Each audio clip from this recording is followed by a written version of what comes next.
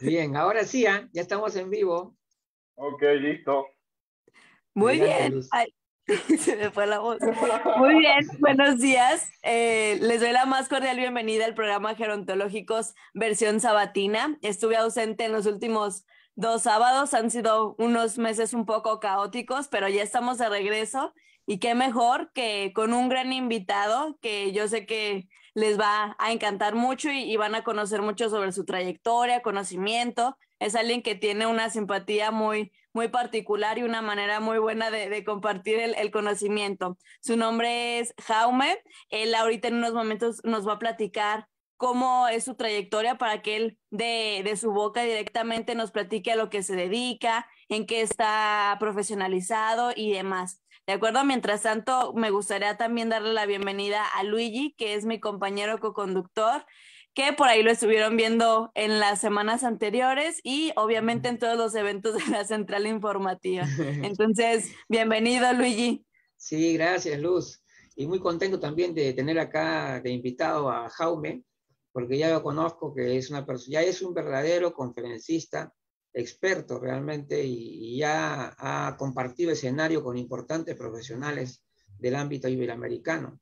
Y ya por eso también, creo que nos hemos conocido a través de LinkedIn principalmente, creo, porque, porque él también utiliza mucho esa red social. Pero bueno, adelante Luz, con tus preguntas primero. Adelante, primero Jaume, que se presente, dinos a qué te dedicas para que todos, nosotros ya te conocemos, pero para que te conozcan todos los demás y, tú lo puedes expresar directamente. Ok, bueno, para toda Latinoamérica, buenos días, para España, buenas tardes. Mi nombre es eh, Jaume o Jaime, eh, para la traducción al español. Eh, vivo en Barcelona y mi trayectoria empezó a los 14, 15 años en un proyecto intergeneracional de voluntariado acompañando a adultos mayores y acompañando a personas con diversidad funcional, discapacidad. Entonces, a raíz de ese acompañamiento, para mí fue una escuela de aprendizaje donde yo aprendí muchísimo. A raíz de ahí eh, fue donde yo tomé la, la, iniciativa de dedicarme de manera profesional y de capacitarme y seguir con esto a largo plazo. Entonces, a raíz de ahí, eh, la certificación que yo pude lograr eh, estudiar es atención a personas en situación de dependencia en instituciones sociales, lo que serían asilos, lo que serían residencias. Eh, en esa trayectoria yo estuve ahí haciendo reemplazos en residencias y asilos por casi dos años y medio. Vi mucho maltrato, no, que, no era lo que yo quería, no era lo que yo esperaba, no era lo que yo buscaba. Entonces dije, yo necesito dar calidad de vida a esas personas. No quiero ser del mundo del maltrato, quiero ser y marcar la diferencia entonces dije, como cuidador hombre, ya voy a marcar la diferencia y si doy calidad de vida a esos adultos mayores que no quieren estar en una institución y prefieren eh, estar en su casa, ahí voy a estar yo. Entonces busqué esa, esa rama, busqué esa opción y hasta, hasta el día de hoy, atención domiciliaria, eh, atención centrada en el paciente, calidad de vida, mantener la autonomía y la vida independiente de la persona en todo momento, y el propio autocuidado del propio cuidador. Y aprovecho, felicidades a todos los cuidadores, cuidadoras, formales, informales de toda Latinoamérica y España. qué bien. Muy bien. oye, Jaume, ¿y cómo fue este proceso en el que tú comenzaste, ahora sí, como quien dice, con el cambio, ¿no? Eh, que ya viste todo este escenario de, de maltrato, porque yo me atrevo a decir que esto pasa a nivel mundial eh, entonces, platícanos cómo empezó este proceso de cambio. ¿Qué fueron esos pequeños cambios que fueron empezando? Esos pequeños cambios de los que yo me fui dando cuenta es de la falta de personal, la falta de, de profesionalidad que puede haber ¿no? en las instituciones, desde la jerarquía, o sea, desde arriba del todo, que son los más culpables de todo, hacia los últimos, que somos los adultos profesionales que estamos en atención directa. Entonces, es un negocio piramidal. Si el negocio piramidal desde abajo no nutre, arriba, arriba tampoco ganan. Entonces, si los de arriba no ganan, la culpa la tenemos los demás. Entonces, si a nosotros nos obligan, mm, por decirlo de alguna manera, dar mala atención a esos adultos mayores, a dar ese maltrato, es porque nosotros desde la jerarquía, desde arriba del todo, ya nos están exigiendo que hagamos eso. No es porque eh, nosotros seamos así, es que nos obligan a ser así. Entonces, la falta de tiempo, la falta de, profesionalidad, la falta de vocación, o sea, la gente trabaja en, los adultos mayores eh, por, por, dinero, básicamente. Adultos mayores no faltan, entonces trabajo siempre va a haber. Entonces, ¿cómo, ¿cómo puedo tener ingresos mensuales residuales? Dedicándome a cuidar a adultos mayores. Pues no, estás muy equivocado. Esta profesión, estás tratando con personas, no es una fábrica, no es un trabajo en cadena, ni mucho menos. Tienes una vida entre manos y si tú buscas que cuando tú seas adulto mayor estés bien cuidado, dalo primero para poderlo recibir después. Si buscas ser maltratado, entonces sigue haciendo lo que estás haciendo.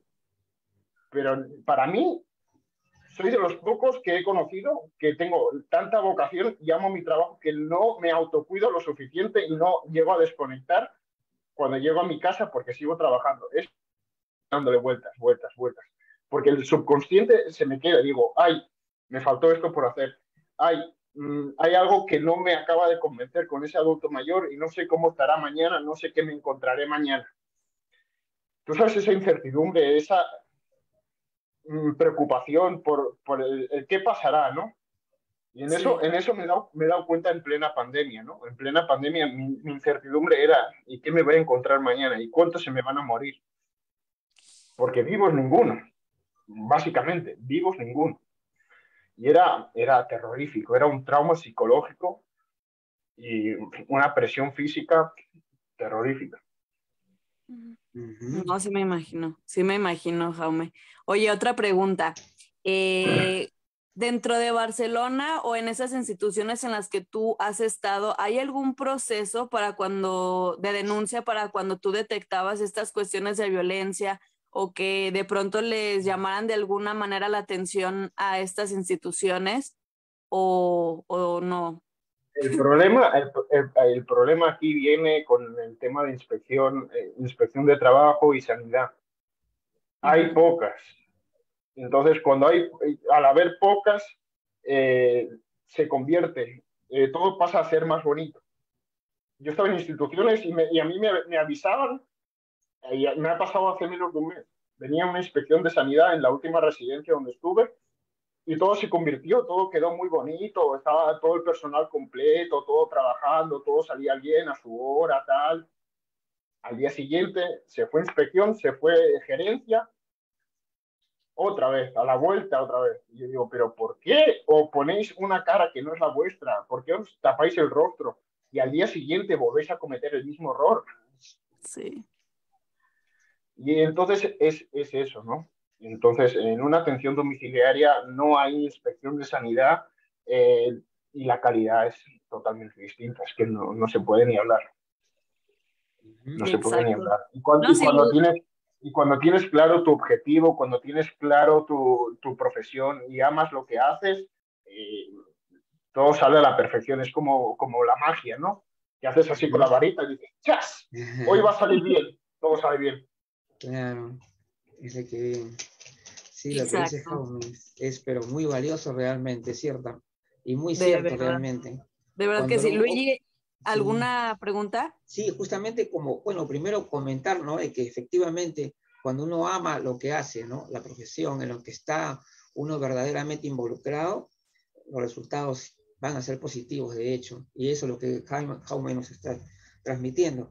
Pero me interesaría también saber, eh, porque tú me hablabas también cuando estábamos, todavía no habíamos iniciado el programa, acerca de la, del posicionamiento del cuidador, hombre sobre todo, porque generalmente siempre habla de las cuidadoras, ¿no? Las cuidadoras y las cuidadoras.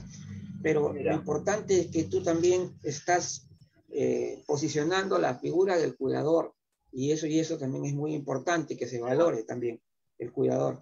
Entonces, aparte de esto, y, y, dentro de, eh, y también quisiera saber eh, el, el, el, rol que está cumpliendo, la importancia que se, que se le está dando en España, ¿no? Al cuidador, ¿no? y cómo se les valora, cómo se les califica. O sea, eso también me interesaría saber. voy a empezar por el principio porque si empiezo por el final la casa se me cae. Entonces antes de que se me caiga la casa voy a, voy a construirla bien desde el principio.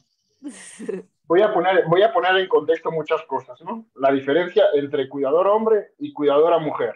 Cuidador hombre, básicamente, por fuerza. Tienes fuerza, tienes cuerpo, venga, haces de, levanta personas, haces esfuerzos, haces todo y acabas como acabas. Que la espalda ya es del vecino, ya no es tuya, como es mi caso. Y la diferencia que las cuidadoras mujeres, aparte de cuidar que no hacen fuerza, pueden abarcar tareas de la casa. La limpieza, la comida, la cocina. Entonces, eso hace balanza. Entonces, al fin y al cabo, cuando quieres explotar a alguien, explotas más a una mujer que te abarca muchas más tareas que un hombre. Pero yo pongo en contexto y digo, bueno, yo vivo solo, a mí nadie me, hace las cosas, ¿por qué yo no puedo hacérsela al, al adulto mayor con el que estoy trabajando? Yo también sé limpiar, también sé poner lavadoras, también sé cocinar, etcétera, etcétera, etcétera. Otra cosa en contexto. Pongo un ejemplo, ¿eh? Y siempre pongo el mismo a, Luz, por ejemplo, porque hoy me va, me va por atacarla a ella, pero con cariño. la ingresa, la ingresa, la ingresa en, el, en, el, hospital y le da igual que la atienda un hombre, que la atienda una mujer, le da igual que sea travesti, sea gay, sea heterosexual, sea negro, blanco, de color, ¿no? Pero luego te, llegas a casa y dices, me convierto en un perro, voy a defender terreno. Y aquí no entra nadie que no me, no me entre a mí por los ojos y me guste. Y tiene que ser chica, rubia, alta, metro ochenta y con ojos azules que me venga a cuidar. Error. Lo que tienes que mirar es qué capacidad tiene, qué conocimientos tiene y cómo actúa con esas manos. Porque las que trabajan es esta y esta para cuidar. Para otras cosas ya no sé lo que tendrá Luz por ahí escondido, pero para otras cosas ya lo dejamos aparte.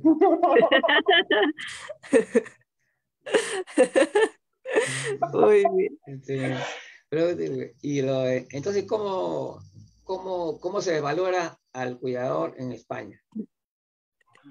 Sí, es que hay cuatro gatos, cuatro cuidadores, todos son ah, mujeres. son pocos los que son hombres, digamos, son pocos, ¿no es cierto? Muy pocos, muy pocos. Yo he conocido en, en instituciones Tres, que he podido trabajar con compañeros hombres. En todas las demás, todo mujeres. Y claro, al mínimo grito, ¡ay, que no puedo! ¡Ayúdame! Ya, ven. Ya fuerza, que no puedo. ya, ya voy. Yauma, que tengo al adulto mayor en el suelo, ¿me ayudas? bueno, me ayudas. Cruzaban así de brazos, hazlo tú todo, porque yo ya no puedo, hazlo tú. Venga, peso muerto, 80, kilos de persona en peso muerto es doble. Es verdad lo que es. a día de hoy, un cuidador como yo que ama y que y se intenta autocuidar y aprender a autocuidarse con una hernia discal lumbar de tanto esfuerzo. ¿Por qué? Porque hombres no hay, ayudas técnicas no hay. Levanta personas, lo que le llaman aquí la grúa, en muchos sitios te la dejan sin cargar, sin batería, y búscate la vida porque el trabajo tiene que salir. No hay pañales, en muchos sitios hay falta de material, no hay guantes, trabajando sin guantes, trabajando sin pañales. Búscate la vida porque el trabajo tiene que salir. Vienen, vienen los familiares y los familiares venga a quejarse, venga a quejarse, venga a quejarse.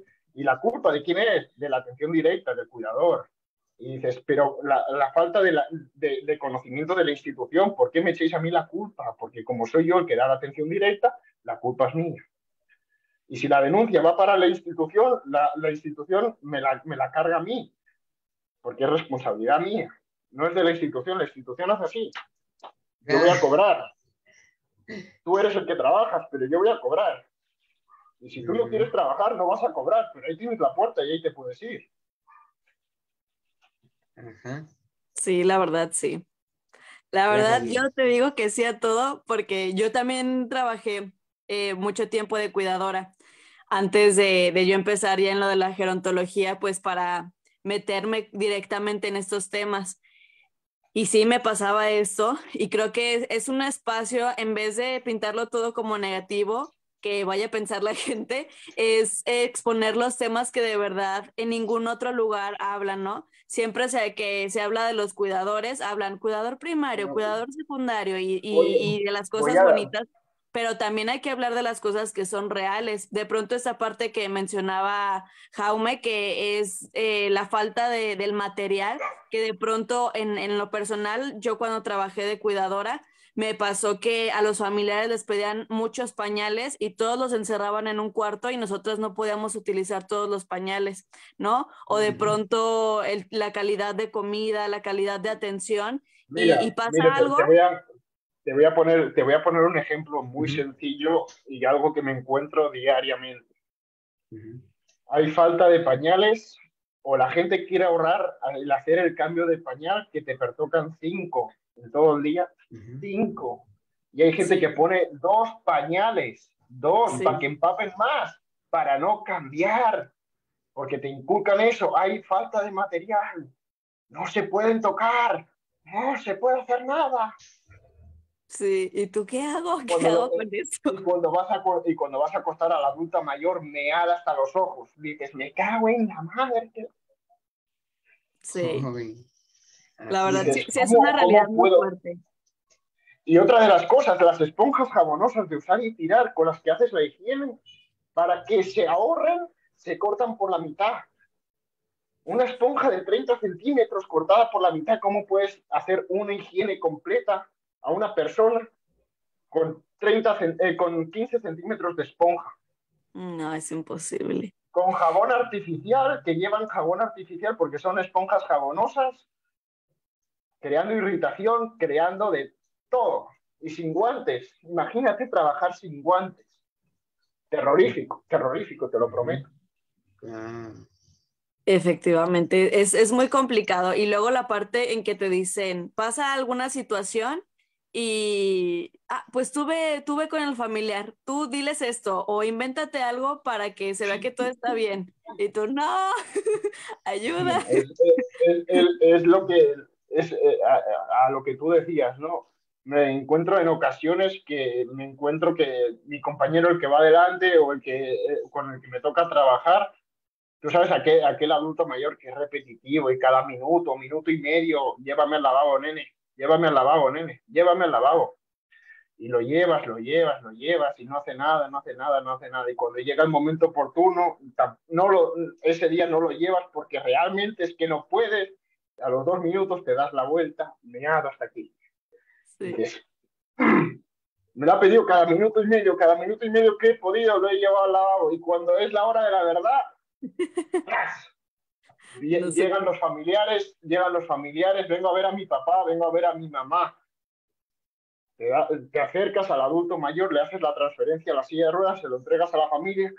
¿Pero qué me han hecho? Mi mamá, mi papá, me hagas hasta arriba. ¿Qué? Yo, señora, yo, yo lo llevo toda la mañana llevándolo al lavabo. Esto ha sido ahora que le ha visto a usted y de la emoción.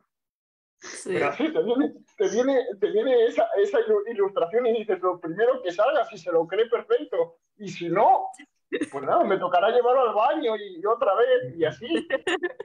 Exacto. Sí, de hecho, es, es, es, más complicado de lo que piensa la gente. Y hablando respecto a lo que te mencionaba Luigi, de los cuidadores hombres, eh, y completamente pasa en todos lados. Cuando yo estuve de, cuidadora, había un chico que estaba ahí. Entonces, eh, teníamos una especie de grúa para movilizarlos y pasaba alguna situación y oigan, eh, necesitamos que vengan otras chicas para ayudarnos. Ah, no, díganle al chico para que él venga y más rápido. Y así se evitan la fatiga de, de mover todo. Ay, ay. Exacto. Entonces, sí, sí, completamente. La culpa, es tuya. Si algún día llego a México a trabajar contigo como cuidadora, a mí no me llames, yo no existo. ya, Aún me ven a ayudarme. Ah, no.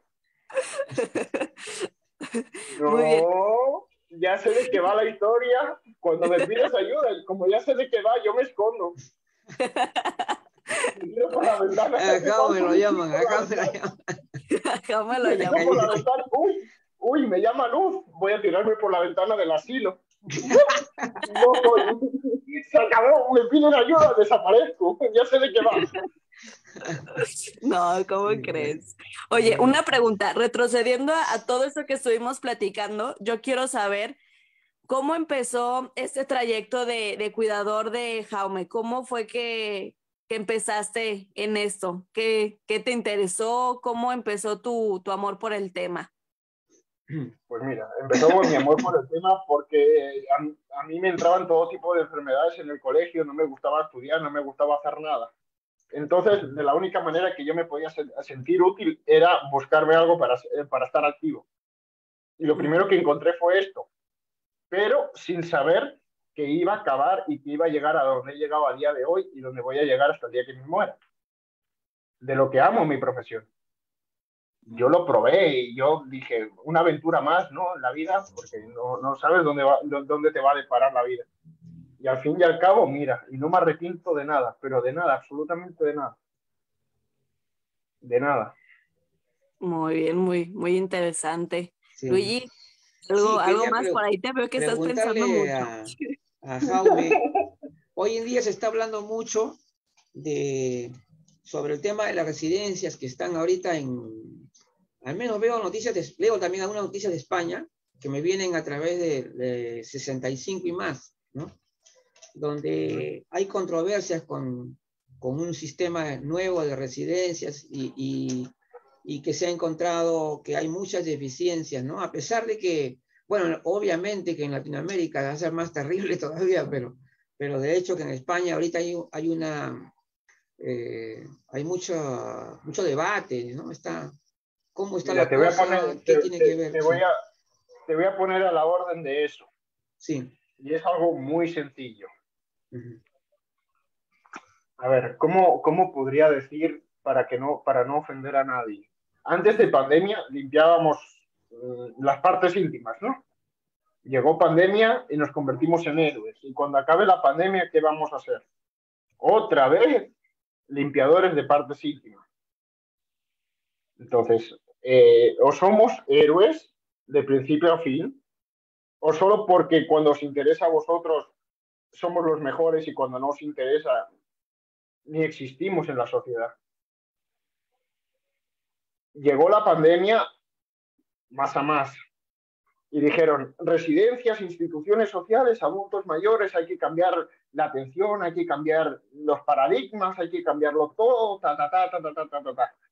Se está acabando la pandemia, la cosa ha ido a peor, a mejor, nada nada. O sea, no hay personal, no hay material, adultos mayores, pobrecitos de ellos, los que están sufriendo, los que padecen, todos los que se han ido. La sociedad tiene que cambiar de mentalidad. Eso es otro trabajo.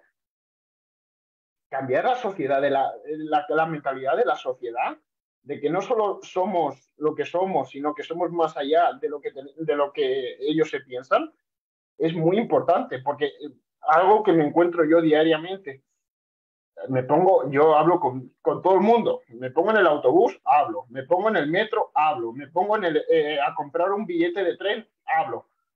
Y la gente me dice, ah, eres muy abierto, eres tal, eres cual, ¿a qué te dedicas? Ah, yo cuido a adultos mayores. Uy, yo no me dedicaría a eso. Le digo, ¿pero acaso lo has probado? Me dice, no, no, no, no, no, es que soy tan escrupuloso, soy, yo no me atrevería a tocar a, un adulto mayor y ya cuando se le cae eh, la dentadura y ya cuando no oye, ya cuando se lo hacen todo encima. Yo digo, pues que sepas que si lo pruebas no te vas a arrepentir. Pero la gente, pánico, terror, terror. Así es. Adelante, Luz. Tú, Luigi, otra. Hay que aprovechar porque estás muy, muy serio hoy. No, no, que no. No, de ninguna manera. Estamos bien contentos, más bien. Reflexionando toda la información, procesando. Este, porque también, también tengo, tengo entendido que también hay personas, hay, hay bastante digamos, eh, se le da mucha importancia también al cuidador, ¿no? al menos el cuidador y las cuidadoras en España en general, ¿no? Por lo que veo bastante información también respecto a eso. Y, pero hasta qué punto la, digamos, se les, se les valora, digamos, en un sentido profesional. O sea, hay, digamos, una, una buena imagen, una, ¿cómo, cómo podríamos eh, ver esto en España? Yo he llegado a la conclusión de que si no me valoro yo, no creo que nadie me valore, porque tal cual está la situación, sueldos hechos una mierda, condiciones hechas una mierda, explotación. Mm, yo ah, creo que si uno mismo que si uno mismo no se valora no, y uno mismo no se autocuida y uno mismo no se quiere, eh, duras en la profesión dos mm. días, estás llorando y te tiras y te suicidas. Que ahí viene el problema del cuidador quemado, el cuidador agotado y el síndrome burnout.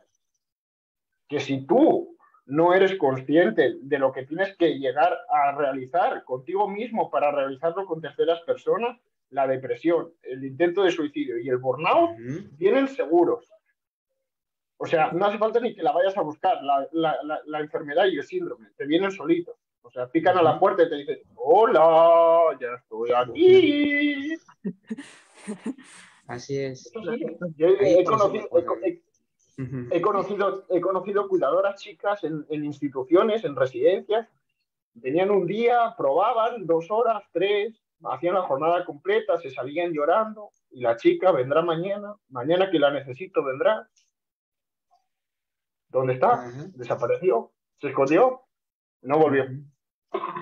No volvió. Pero muchas, no una, no, muchas.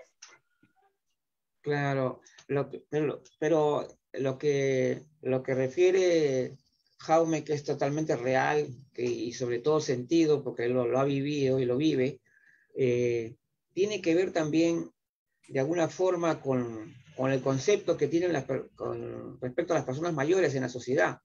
A pesar de que de las mejoras que puedan haber, todavía tenemos una visión sesgada y, pobre todavía en realidad a lo que son las personas mayores.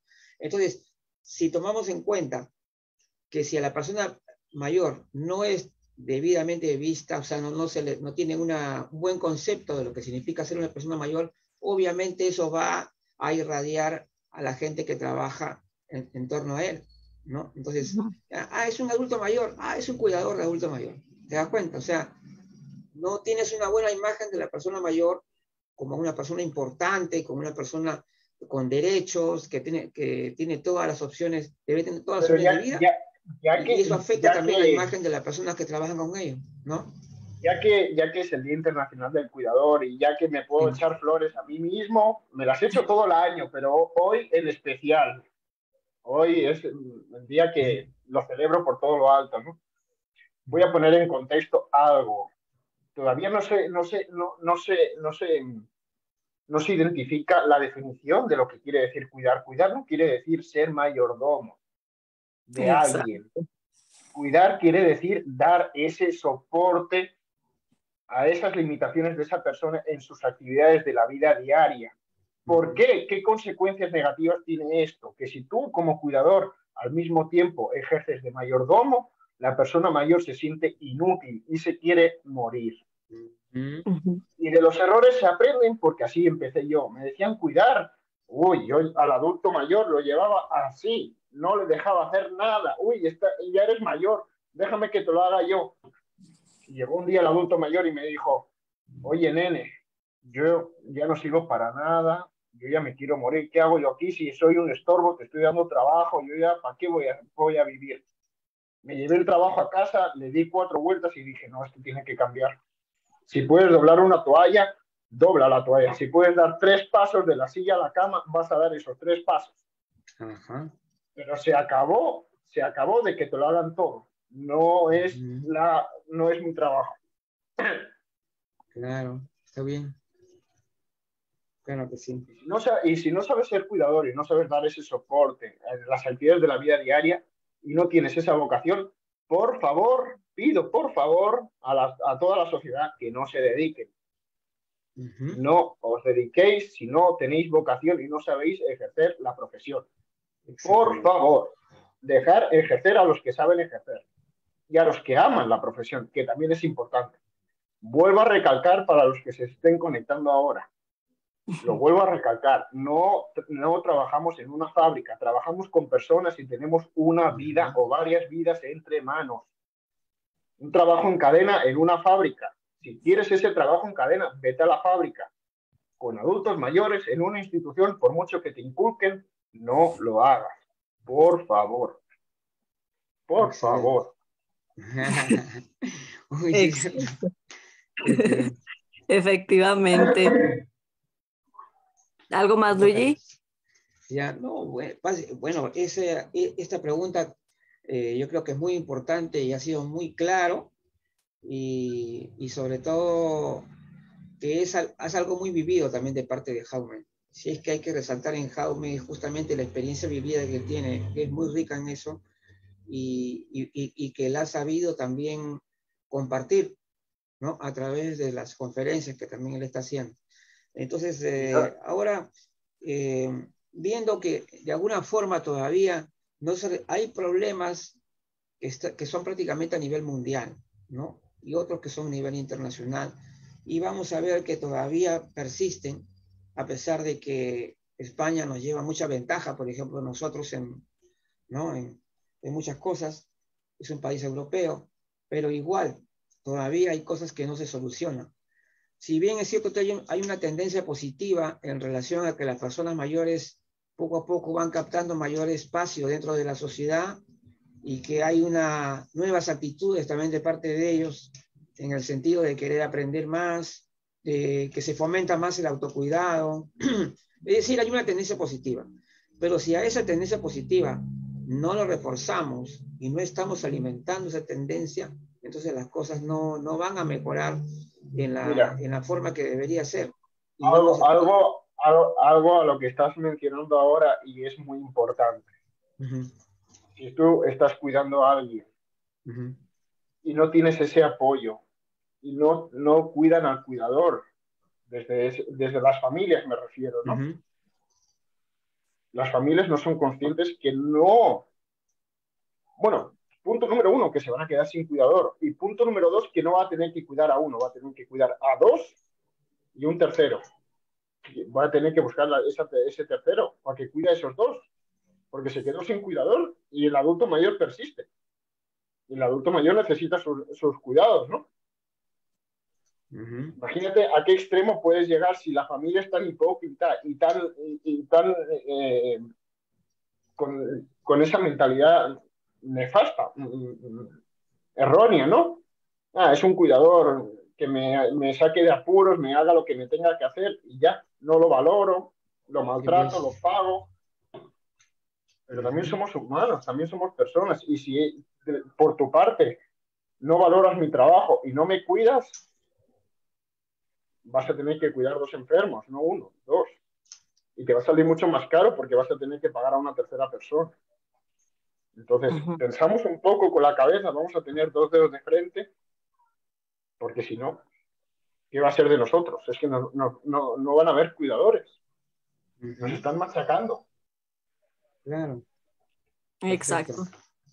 Yo, más allá de, bueno, Aparte de lo que tú has comentado, pienso que también el compromiso es de los dueños de estas instituciones, ¿no? El que tengan un personal capacitado, porque, por ejemplo, una realidad que es muy común aquí en México es que la mayoría de las cuidadoras, me atrevo a decir, eh, sí hay gente especializada, pero la mayoría de las cuidadoras que tú encuentras en instituciones como asilos, casas de, retiro, etcétera, son señoras eh, en la mayoría eh, en una edad entre 40 y 50 años que están trabajando por esa necesidad únicamente del dinero. Entonces, ellas lo hacen como ellas pueden, como su instinto les dice. Entonces, yo pienso que hay una gran necesidad de una capacitación y de un compromiso por, por los dueños, porque como tú dijiste, a veces son personas que nada más lo pusieron por negocio y completamente desconocen la dimensión de lo que era poner un negocio de ese tipo, ¿no? Entonces... Básicamente, eh, básicamente, básicamente los que montan una residencia para hacer dinero, básicamente, en resumen, es que nunca se han puesto a limpiar un culo y nunca se han ensuciado las manos. Exacto. Lo confirmo, confirmo. Muy bien. Ahora, una, una, pregunta que yo quiero hacerte, que yo estoy segura de que muchas de las que están aquí acompañándonos son cuidadoras también. Eh, ellas son de Guatemala, pero me gustaría preguntarte para el público que posteriormente va a ver este video o esa transmisión vía YouTube, ¿cuáles son las tareas en específico que hace un cuidador? Porque muchas de las veces hay personas que dicen, no, el cuidador nada más es directo con la persona mayor y es estar ahí en todo momento, justo lo que acabas de mencionar, ¿no? Eh, o el cuidador también tiene que cocinar o tiene que lavar los platos. Eh, ahora sí que tú explícanos desde tu conocimiento, porque tú eres experto en ese tema, platícanos cuáles son las tareas de, un cuidador como tal. en la atención domiciliaria, que es a lo que me dedico actualmente, sin hablar de asilos, que ya eso es un tema aparte y un tema perdido, ah. porque ya se sabe lo que hay. En la atención domiciliaria hay que concientizar, sensibilizar a las familias, punto número uno, porque tienen que ser conscientes y tienen que asimilar en qué situación estamos y en qué contexto se va a proceder a cuidar a esa persona, hay que saber de dónde vienen los, los antepasados, qué relación ha tenido ese adulto mayor con esa familia, qué, qué unión social hay. Y después de averiguar todo eso, de conocer al paciente, conocer a, a la familia, trabajas con el paciente, pero ya te digo y te confirmo que lo más difícil es trabajar con las familias. A partir de ahí, hay una relación tripartita cuidador, familia y paciente. Si esto no es un trabajo en equipo y esto no funciona como debe funcionar y se rompe, no hay vuelta atrás. Pero el más perjudicado es el paciente porque se queda sin cuidados. Mm. Por culpa de, normalmente, y un 80% podría decir, de las familias. Porque van a por ti como cuidador, van a humillarte porque se creen que saben más que tú. Ay, yo a mi papá me gustaría cuidarlo así, asá, tará, tará. ¿Estás contratando un profesional o estás contratando, contratando a alguien de la calle? Si estás contratando a un profesional, déjalo trabajar, por favor. Si estás contratando a alguien de la calle, directamente ni lo contrates. Dedícate tú como sepas tú y ya se verán las consecuencias. ¿Que estarás mal cuidado? Seguro. ¿Que se te morirá en cuatro días? También. ¿Que lo ingreses en una residencia y lo abandonas? Hijo de puta serás tú, por hacer lo que haces, por maltratar. Entonces, no sé si me puedo llegar a, explicar, no sé si he sido maleducado con lo que acabo de decir, pero es que es la realidad, es la realidad. Ese trabajo en equipo de la relación tripartita, familia, paciente y cuidador, si ese vínculo se rompe, no, no, no fuerces la máquina porque va a ir a peor. O sea, si la máquina no tiene ni luz, ni cámara, ni acción, ya. Páralo por lo sano, porque es que no. No hay vuelta atrás. Efectivamente, y como tú decías, eh, la parte más fundamental es la concientización, porque de pronto los familiares en este tipo de atención domiciliaria lo confunden, como tú lo, lo decías, en voy a contratar un mayordomo para que, digo, un cuidador para que sea tipo mayordomo, ¿no? Y es, mi, no quiero que mis papás hagan nada, tú les tienes que dar todo. Y creo que es esta parte de concientizarlos de que no es completamente el que uno les vaya a servir eh, en todo, que no deje que muevan ni una pestaña porque ya es persona mayor y sus hijos quieren que no haga nada y, reciba toda la atención, ¿no? Creo que esta parte, hacer también entender a los hijos que parte de, de darles una calidad en su vejez es dejarlos, ¿no? Tener eh, la mayor posibilidad de una autonomía, ¿no? Que ellos puedan decidir lo que quieren, lo que no quieren hacer y, nosotros, como tú dices, armar equipo con ellos, ¿no? Entonces, en este momento vamos a dar oportunidad para eh, el público que está por ahí, que quiera tener una opinión o que quiera hacerle una pregunta directa a Jaume. Yo considero que tienen que explotar todo ese conocimiento. Y Raiza, como siempre, la primera. Luigi, Luigi, si Luz me explota, yo luego te paso un presupuesto en factura y, ya hablaremos de los intereses, ¿no? explótenlo, explótenlo.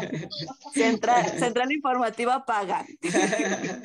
oh, oh, qué chévere. No, magnífico, de verdad. Un gran placer estar oyendo la conferencia de hoy. Eh, hemos asistido a miles de conferencias muy buenas acá en la central informativa. Pero es un placer el día de hoy, justamente el Día del Cuidador Internacional, eh, contar con tu presencia aquí con nosotros. Te agradecemos mucho. Em, claro, tú tienes mucha experiencia, al igual que muchos de los que estamos aquí hemos cuidado. Eh, en mi caso, también comenzó en mi adolescencia temprana, como 11, 12 años. Eh, yo tengo unas, unos comentarios y unas preguntas. En relación a algo que estabas comentando, me llama mucho la atención. ¿Cómo cambiarle entonces el chip o la mentalidad a la sociedad respecto del cuidador y del cuidado gerontológico? ¿Cómo lo harías tú para promover ese cambio? Primero. Segundo, me viene a la mente también algo muy práctico, oyéndote hablar y todo lo que decías y bajo todo lo que yo he vivido y he visto, yo confirmo que es cierto que hay mucho maltrato eh, en los centros de cuidado y a veces también mucho desconocimiento y mucha ignorancia, inclusive en, cuidado residencial, en la casa de la persona. Eh, pero en parte es, eh, desconsideración es ignorancia y también considero que es que realmente todos como humanos nos falta eh, analizarnos si de verdad tenemos consideración para nuestros, nuestros eh, eh, compañeros humanos que nos acompañan en la vida. Lo que comentabas tú de que, de que te llamaban a ti para echar fuerza siempre que se requería, yo lo he presenciado miles de veces en muchos lugares con los cuidadores caballeros, con los enfermeros.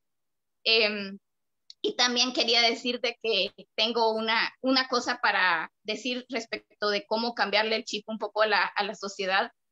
Eh, tengo una amiga, una buena amiga, eh, que me dice siempre, ay, cómo los admiro a los cuidadores, porque yo jamás, jamás tocaría suciedad, jamás tocaría nada de eso.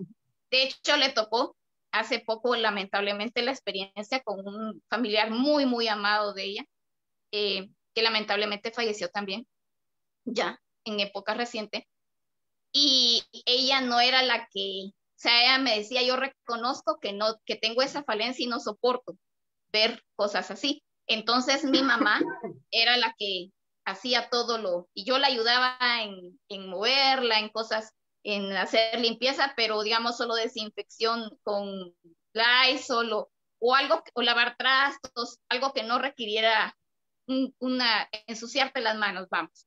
Y eh, yo le, me pongo a pensar, ahorita oyéndote hablar a ti, bueno, ¿y cómo lo vas a manejar el día que tú llegues a ser persona mayor y que no tengas quien te cuide? Entonces, ¿qué vas a hacer? Ese sería una buen, un buen planteamiento para la sociedad, que se sienten a pensar. Si, si tú no tienes quien te lo haga y luego te ensucias, ¿qué? Te vas a quedar así sucio. Tienes que desarrollar que tienes que entrar en contacto y en cuanto más pronto lo, lo aprendan desde la infancia los niños. A mí me pasó una, una, experiencia particular, no la voy a contar porque ya es demasiado lo que estoy hablando, pero eh, yo desde niña empecé a ver eso eh, y lo tomé como, bueno, yo también de mi niñez aprendí jardinería y dije es tierra, sencillo, es tierra y hay que limpiarla. Es algo que está sucio, bueno, se derramó un poco de caldo, límpialo Así lo veo yo en mi mente y así fue como yo desconecté y se lo comentaba a mi amiga. Yo así fue como desconecté rápido el chip de, ay, qué asco, no lo toco, la sangre, ay, qué horror. No, es algo que hay que hacerlo y lo tienes que hacer por amor a tu, a tu pariente y por amor a ti mismo, porque en algún momento, en cuanto yo tome responsabilidad de mi vida y de lo que tengo que hacer como humano, tengo expresiones y todo, tengo que hacerlo. Pienso que sería bueno, pero no sé qué consideras tú. Empiezo, empiezo, empiezo por el principio, desde la primera pregunta hasta, hasta la última, ¿vale? Eh, desde el principio, la primera pregunta te la voy a contestar. Es un trabajo que ha sido invisible y que empieza a, hacer, a ser visible con muchos tabús escondidos, con muchos, y que queda mucho por hacer. O sea, yo voy a llegar a ser adulto mayor y todavía quedarán cosas por resolver ya que de todo lo que, de toda mi trayectoria, lo que yo me encuentre cuando yo llegue a mi vejez, la desconozco. Espero y toco madera que sea lo mejor que yo he podido dar en todos estos años. Encontrarme lo más agradable posible. Punto número uno. Punto número dos.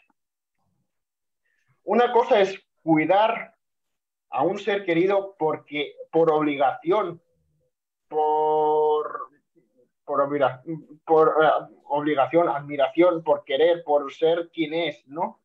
Y otra cosa es cuidar por amar lo que haces.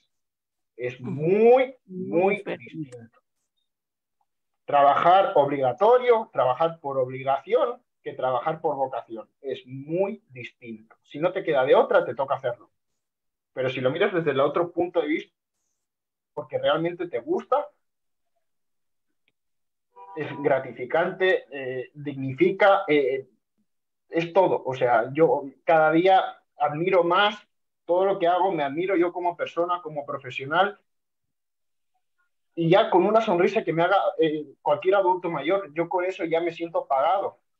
Exacto. Con ese, gracias por todo lo que haces por mí, con un adulto mayor que estoy ahora trabajando, cada día me lo dice, con un, con un cierto deterioro cognitivo.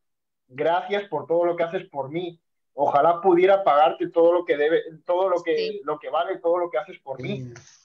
Exacto. Y cada día cuando yo me voy a ir, cada día me dice, pero ¿cuándo vuelves? ¿Y qué día me voy a quedar sin ti y por cuánto tiempo te voy a tener? Yo digo, hasta el final de tu, de tu existencia, ahí voy a estar yo, no voy a desaparecer en ningún momento. Me dice, es que tu ayuda me sirve de mucho, tu ayuda me va muy bien, claro que te va bien, por eso estoy aquí, no estoy aquí por joderte la vida, ni mucho menos, ni por maltratarte, ni por hacerte daño, todo lo contrario, por darte calidad. Porque si tú tuvieras tu propia autonomía y tu propia vida independiente, no necesitarías de mí. Pero tienes un deterioro físico y cognitivo y ahora es tu momento de que te den lo que necesitas porque tú no puedes. Si pudieras, yo no existiría en tu vida. Mm. Es así de sencillo y es así lo que, cómo hay que inculcarlo. Mm. Excelente. muchas gracias. A Wendy, ¿no? Wendy. Hola a todos, muy buen día. Qué maravilloso tema. Excelentes puntos creo que una de las cosas muy importantes en cuidar a adultos mayores es que tú lo involucres en tus actividades como cuidador. No es inmovilizarlo. Y eso lo que va a hacer es darle vida a él, alargar sus días, que esté activo, que esté en movimiento. Yo tuve la oportunidad de estar con una paciente que le gustaba cocinar y a mí me gusta cocinar. Y yo le decía, véngase, eh, ayúdeme a despenicar las hierbitas, solo quiero las hojitas y se sentaba y le llevaba horas, pero no me importaba porque platicábamos, ella estaba entretenida, en movimiento y escuchando música, ah. cantando, nos reíamos. Y, y, y, los familiares, no, que por qué la ponen a hacer. Y le dio, necesitamos tenerla activa. En la tarde, después de una pequeña refacción, nos poníamos a pintar mandalas. Y le decía, ahora vamos a pintar. ¿Y qué color es este? Y en inglés y en español y ahora con la otra mano, practiquemos con la izquierda. O sea, es de mantenerlos activos y de involucrarlos en nuestros mm. quehaceres. Con esto no quiere decir que voy a poner a barrer, a trapear, a lavar. No, pero hay cosas tan pequeñas que ayudan un montón al adulto mayor y se sienten útiles, se sienten activos. Claro, estimulan, estimulan y al estimular eh, eh, eh, ese me quiero morir, ya no sirvo para nada, no existe, no existe, no existe, ah. no existe. ¿Por qué? Porque están activos, porque no les da por pensar en negativo. Porque si los tienes activos, eh, yo, yo he llegado a la conclusión, todo el mundo dice, ah, los adultos mayores, la mañana se les pasa súper rápido porque tienen un montón de cosas por hacer. A partir después del almuerzo, se les hace la tarde, la tarde eterna y a las 8 ya están en la cama.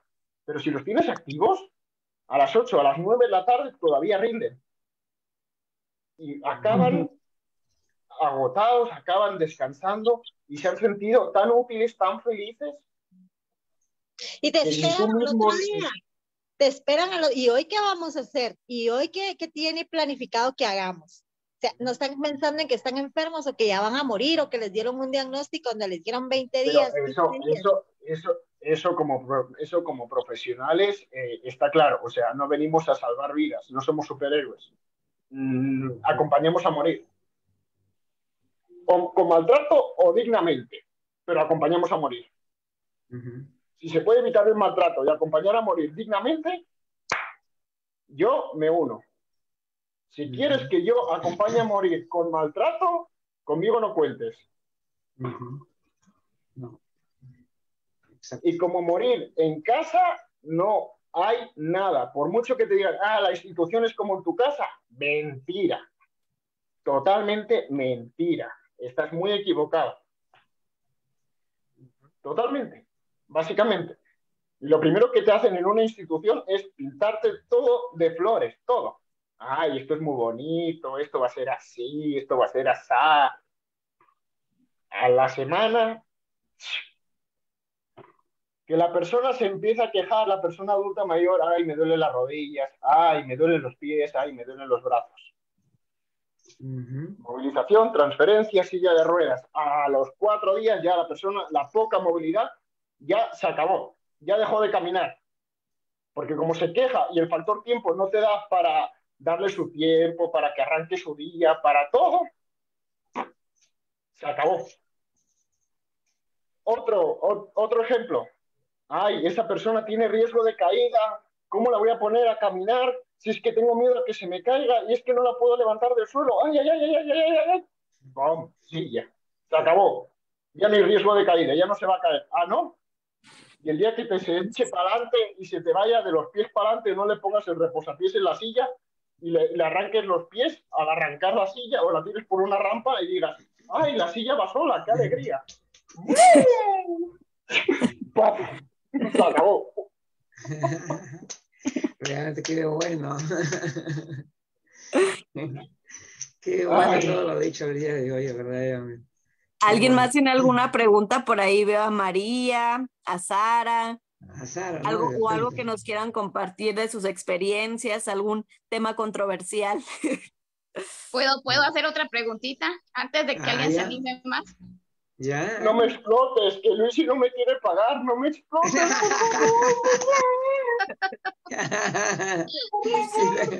Luigi, te va a salir carísima esta. Sí. Me va a salir carísima este, este evento. Madre mía. Eh, no, mira, una... un pastel y un buen café. ¿Ok? Oh. Tentador. Una buena pregunta ahora. Eh, cuando tú trabajabas, tú dices que trabajaste con eh, personal masculino también en residencias. Eh, ¿Cuál mirabas tú o cuál dirías tú que era la motivación que ellos tenían para trabajar también? Porque tú tenemos claro que empezó todo por un voluntariado que hiciste cuando tenías 14 años, pero las demás personas hablaste alguna vez con ellas de por qué, por qué se interesaron, por qué entraron al mundo y cómo eran ellos como cuidadores, ¿tú los pudiste ver? Mm, pocos con vocación, eso está claro, muchos por remuneración y la gran mayoría porque en su profesión ya no había, no, no había trabajo y no les quedaba de otra que venirse a trabajar de esto. Muchos han sido, han sido peones en la obra, muchos han sido otras cosas y cuando ya han visto que por cierta edad ya no te cogen en, en tu profesión y que ya no tienes rendimiento a lo que tú te sueles dedicar, es lo que he dicho al principio, ¿no? Vienes a donde hay trabajo y donde hay trabajo cada vez hay más adultos mayores, cada vez se necesita más gente. Qué tremendo. Aquí en Guatemala también cuando nosotras estudiamos eh, para cuidar del adulto mayor, en mi promoción solo había un caballero de 60 o 70 personas mujeres, solo uno. Y luego él, yo no sé si voy a pecar, pero para mí él no tenía nada de vocación él en las prácticas, él fue uno de los que yo vi y oí también sin querer conversaciones de que él no, eh, a él le tocó, nos dividieron en dos, el grupo para las prácticas y a él le tocó en el otro grupo y a mí en el, en el otro. Algún grupo le tocó el pabellón, pabellón de mujeres y al otro el de pabellón de caballeros. Y él se fue al de, al de damas, al de damas. Y yo estaba en el de caballeros y en la primera semana. Y entonces eh, yo oí al terminar el primer día que muchas decían que él solo cuando pasaban los que nos estaban supervisando la práctica, él sí se acomedía, él hablaba, él eh, hacía eh, trabajo, lo que sea, pero cuando pasaban se ponía a platicar con una amiga y, y ahí va, y luego, y hablaban amores de él y decían de que era muy buena persona, pero realmente solo era para, como, yo creo, como tú dices, solo por una remuneración, por lo que yo miraba. Yo tampoco no lo miraba trabajar, no lo miré venga, y había mucho que hacer, eh, desde platicar, como tú has dicho, hasta bañar, limpiar, ayudar a comer, etcétera. Pero solo cuando pasaban, pues mucha gente así lo hacía. Y, y, es por eso que yo creo que la concepción de que, de que, ¿por qué tenemos tan metido que la persona mayor es otro ente completamente diferente, otra clase de humano? Así lo voy a decir, otra clase de humano. ¿No, no consideras tú eso? Que, que, a veces como que nos separamos, inclusive con lo que comentabas, y vuelvo a repetir lo de, lo de que te llamaban para hacer fuerzas, eh, ¿no consideras tú como de que la gente siempre está eh, muy egocéntrica y siempre pensando los otros? Bueno, los hombres, en el caso de las nuestras mujeres, los hombres, ellos tienen que hacer la fuerza, ellos tienen que eh, bueno, ahorita eh, se cayó esto que es pesado, que lo levante el hombre, llamen a los caballeros que vengan a levantarlo. Eh, como que siempre estamos como deshumanizándonos o clasificándonos o etiquetándonos ellos, las personas mayores. Yo no, yo nunca voy a llegar a esa edad y, y, siempre estoy yo como en el egocentrismo, pienso yo, no sé qué consideran ustedes, como que es siempre yo, solo yo importo mis necesidades y lo que yo quiero y lo que me conviene. No sé. Mira, eh, los adultos mayores en esta sociedad, cuando ya no, ya no valen por sí solos, ya no, ya no son adultos mayores, ya no son humanos. Es un objeto que molesta. Entonces, ¿cómo me deshago de él? O bien lo mato, eh, así, es real. O bien lo mato, o bien hago que no existe. Es lo único que hay, es lo único que se puede hacer. O lo mato, o lo maltrato, o lo dejo como inexistente y es lo único que se puede. Lo ignoro. O, o, derivo mis cargas, las derivo a terceras personas.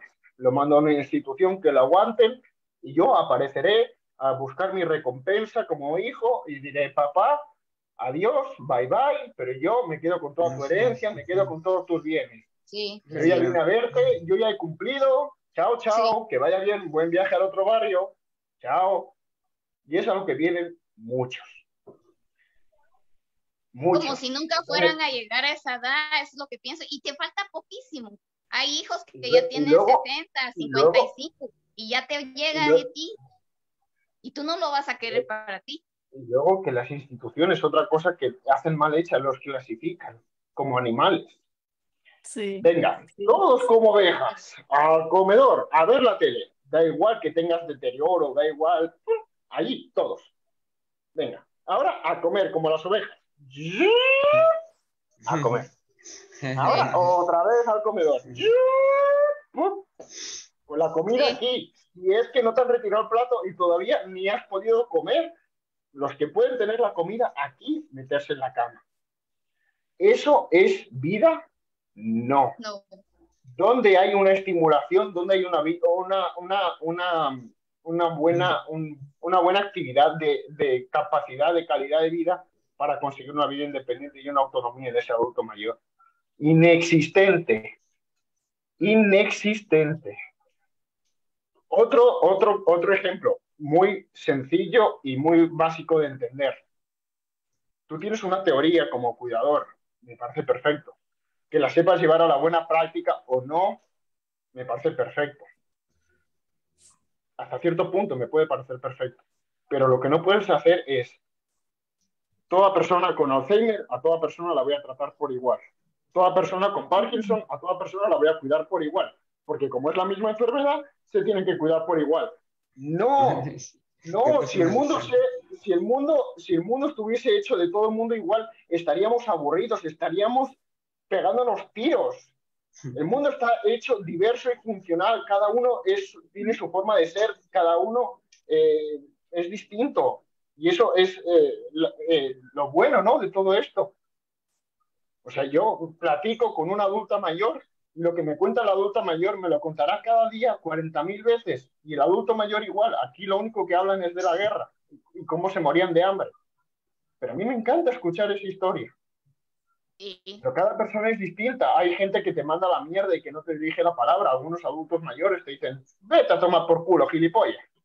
Y hay algunos, ay, no te vayas de mi lado, escúchame, mira, mis hijos me maltratan, mis hijos me han abandonado, me han dicho que se, se van de vacaciones y que van a venir a buscarme. y no vienen, y no vienen, y cuándo vienen mis hijos. Y el estar ese poco rato que les puedes dedicar, estar haciendo esa escucha activa y con solo hacerles esa compañía y darles ese abrazo que necesitan cuando lo necesitan, o esa pequeña, ese pequeño gesto de educación. Hola, buenos días. Hola, buenas tardes. Mm, buenas noches. Descansa y hasta mañana. Que Dios te bendiga. Algo tan sencillo como eso. Claro. La gente no lo puede comprender. No lo puede comprender. Pero ¿por qué crees que pasa eso? ¿Por qué creo que pasa? Mira, esto es muy sencillo. Y, y, pasa de la siguiente manera. Es como si tú estuvieses en una obra de teatro y tienes que hacer de ese personaje. Pero si no empatizas con ese personaje, ¿cómo vas a lograr hacer lo que te pide la obra de teatro? Es muy sencillo. O te cambias y te disfrazas y te conviertes en ese personaje, o no vas a ser ni el malo ni el bueno. Te vas a quedar de espectador y no vas a ver nada porque la obra de teatro no va a salir. Exacto. Es así de sencillo. Yo tengo que empatizar con ese adulto mayor, conocer sus limitaciones para saber dónde tengo que interactuar. Si yo no empatizo con ese adulto mayor y no sé hasta dónde puede llegar y dónde tengo que interactuar, no hay nada más que hacer. Desconozco. O sea, ¿y ahora qué hago? Porque si no empatizo, ¿ahora qué hago? Por mucho que me cuenten, yo necesito meterme en la otra, en, los otros zapatos, ¿no? Claro. Y mira, ¿y tú qué le dirías a los nuevos cuidadores, a, los, a las nuevas generaciones para que se involucren y quieran como, como ver esto de otra manera, el tema gerontológico, o inclusive llegar un día a participar en el cuidado y profesionalizarse? ¿Cómo, cómo los estimularías? ¿Qué les motivarías para decir eso? Respeto, educación, empatía y vocación. El perfil estupendo y perfecto de un cuidador. Si no tienes estas características, no te dediques. Se acabó desaparece del plano. Ya. Ajá, bien. Exacto. Muy, bien. Excelente. Pues, te felicito mucho, realmente, Jaume. Realmente todo lo que has dicho. Te va a salir cara la factura, Luis, y te va a salir cara la factura. Otro pastel. Qué suerte de, de, que esté con nosotros ahora Jaume también. ¿No? Eh, dentro de la central informativa del adulto mayor. Y, y, bueno, y también hay que destacar la participación de Raiza, de Wendy, ¿no? Que, que siempre aportan en todos los eventos, siempre comentan y animan también los eventos. También eso es importante. Raiza, ha dicho que ya había hablado demasiado y ahora ya no calla. Yo no sé a, qué conclusión habéis llegado. La promotora de los eventos, muy importante. ¿Qué contrato debe tener en la central? Eso es lo que yo me estoy preguntando. ¿Qué contrato tiene? Ha dicho que no iba a hablar y no calla. Eso. aplausos, aplausos.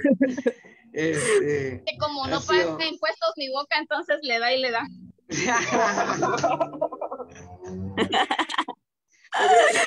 está, terminando un programa realmente excelente, eh, interesante y a la vez ameno, porque, pero había que traer, eh, eh, todo lo que se ha transmitido aquí, todo lo que se ha dicho es de mucha importancia. si no te lo tomas así, la vida está tan mal hecha. O sea, la vida es fácil, pero el propio ser humano la hace difícil. Y si no te lo tomas así con alegría y con entusiasmo y hablas bonito de, de la vocación que tienes por tu trabajo, intentas eh, eh, concientizar y sensibilizar a los demás de lo bonito que es esto, aparte de lo malo que ya tiene como consecuencia. Es que mm, cada vez vamos a ser menos que nos dediquemos a esto, porque si solo miramos la parte fea. Ajá. Exacto.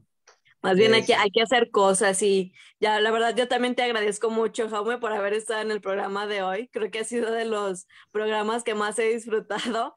Y les agradezco a, todos, a todos los que están ahí viéndonos en diferentes plataformas, el que se hayan tomado el tiempo de, de estar aquí y aprender muchísimo. Y más que eso, llevarse una buena reflexión de lo que como profesionales tenemos que hacer. El que no nada más es hablar, sino bien nos lo dijo Jaume con todas las opiniones que nos dijo que hay que actuar, ¿no? Más que hablarlo, hay que actuarlo y llevarlo a cabo en la vida diaria. Cuidado, cuidado, hay que actuar con dos dedos de frente, no puedes actuar así de, la buena a la ligera. Ah, claro. Ah, claro. Claro que Muy sí. Bien. Muy bien, Jaume. Ahora, bueno, entonces ya estamos casi al final del programa, así que como siempre, los anuncios finales. Los comerciales, Luigi. Bueno, ya el día lunes, el lunes, vamos a, a la publicidad de nuestro próximo evento, que justamente va a tocar el tema de cuidado, fíjense. ¿eh? Aunque se han equivocado en el afiche porque han puesto miércoles, pero es evidente que es el lunes. Entonces, es el lunes 7 tenemos justamente a eh, Maru Iniestra Ortiz con el tema cuidado tóxico. ¡Wow! ¡Wow! Que suena fuerte, ¿no? Ella es una destacada comunicadora, ha investigado mucho sobre el tema y bueno, nos va a comentar una cosa muy interesante en esta actividad que es de la área social de la Central Informativa del Adulto Mayor. Esta es su conferencia que va a dar el día de lunes, el lunes 7 y después tenemos, bueno, el martes el programa gerontológico que va a tener también este diálogo gerontológico abierto, como siempre, a las seis de la tarde. Y luego, ah, y también, y también, bueno, Maru ha tenido la gentileza de invitarme a su programa, Hola Longevo, así que voy a poder también hacer algunos comentarios importantes ahí al lado de, de su programa, que se va a realizar el martes en la mañana, a las 10 de la mañana. Así que, y finalmente, comentar lo que ayer ha sido un día extraordinario en la, en la, en la manera como los asistentes al curso se han comportado de la mejor manera y, han, y han, todos han aportado realmente el día de ayer. Ha sido un día muy interesante, muy bueno, que hay que destacar. Y ya viene la última, la última sesión del curso de comunicación gerontológica organizado por Vanguardia Gerontológica y estamos en la etapa de perfiles de instructores. Ahora, estamos también en la parte de perfiles institucionales. Acá lo que vamos a ver es cómo las instituciones organizan su, digamos, su organización de su difusión o comunicación de contenidos, porque hay muchos, muchos errores que se ve en el día de hoy, que justamente estábamos conversando antes del programa con, también con, con, Jaume, de que hablábamos de que había muchos errores a veces en la comunicación y en las, cosas que se publican y que generan más bien confusión en lugar de aclaración. Entonces, todos estos temas los vamos a terminar de desarrollar el, en, la última sesión del curso y vamos a practicar ese día, vamos a hacer un recuento de lo que ya se ha hecho, como por ejemplo la parte de manejo conceptual, la parte de enfoques, de tipos de lenguaje, vamos a hacer una pequeña práctica también. ¿Ya? Así que muchas gracias a todos por su atención y nos despedimos hasta la próxima actividad de la central el día lunes. Hasta luego, bonito fin de semana. Saludos y a todos. Gracias por la invitación. Muchas gracias. Felicidades, felicidades en este día. Gracias, chao.